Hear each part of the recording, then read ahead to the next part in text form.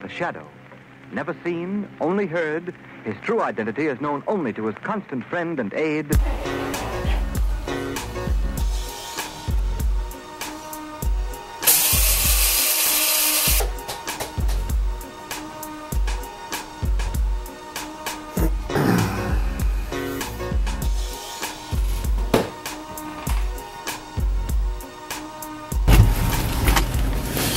Know how I feel. Dun, dun, dun.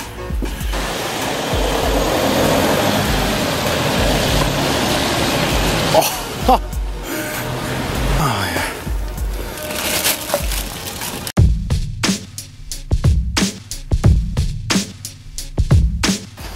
Jeg er kommet ned på Lyneren, og nu skal jeg lige op på edit, øh, og lige have ordnet nogle e-mails.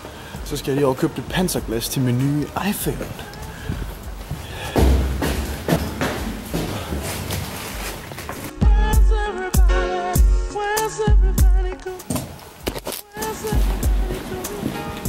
Jeg er lige gået og for lyn af lige hurtigt, inden jeg går i gang med edit her i dag, for at få fat i det der uh, Gorilla Glass panserglas, eller hvad det hedder. Uh, jeg ved nemlig, at der ligger en butik lige heroppe rundt om hjørnet, hvor jeg fik et, uh, et cover på min iPhone 5. Jeg tænker, jeg vil godt støtte ham igen. Jo.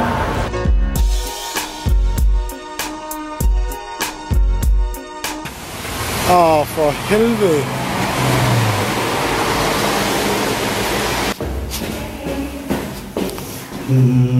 No luck today.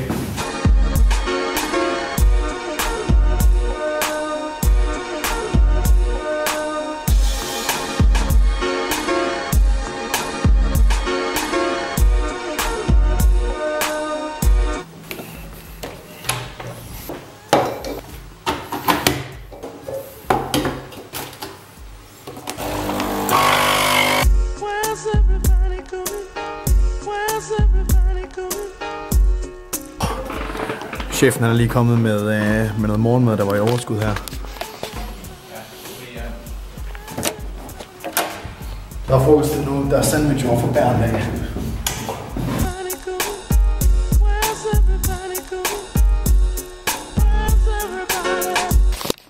Everybody? Family, jeg har lige sat øh, en øh, rebroadcast i gang af vores episode her fra i sidste uge med Brodown øh, podcasten der. Og nu øh, jeg skal lige over og, lige at handle lidt nogle snacks ind til vores øh, podcast. Og så skal vi op og sætte op her lidt. Og så kommer drengene. Drengene kommer om 20 minutter. Så jeg tænker lige, at vi lige vil nå øh, at få ordnet de, øh, de vigtigste ting her, inden de kommer. Oh, jeg må hellere komme ud af døren nu, ned og få hentet øh, nogle bajer og lidt forskellige andre goodies.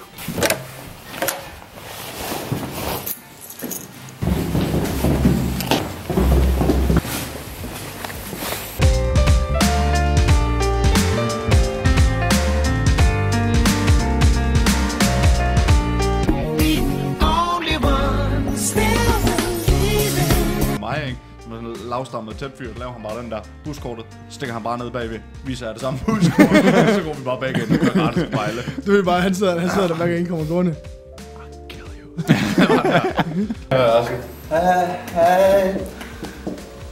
Ja. Den der på afstand der. Den der vi lavede i dag, det var fantastisk. den der, hvor vi kører på hinanden. Åh, oh, Brandon Family, vi har lige lavet Awesome Bro Down her. Kæft, det var griner. Det var godt at have Lasse tilbage. Nu er jeg på vej hjem til, øh, til Cribben. Jeg skal op tidlig i morgen og lave bills, så øh, ja. Tak fordi I så med til vlog. Selvfølgelig lidt mere business-agtig vlog hernede på Lynfabrikken, når der ikke, øh, når der ikke sker så meget. Men you know how it is. Jeg skal ud og lave bills. Ja, jeg ved ikke, hvad jeg snakker om. Vi ses i morgen til. This could be the start of something new. Maybe I could brighten up your days, filled with skies so blue. And on cold nights, I'll make the soul shine bright through your body with the brand new feeling. So hold tight. And honestly, I thought that I was passing through that night that I met you.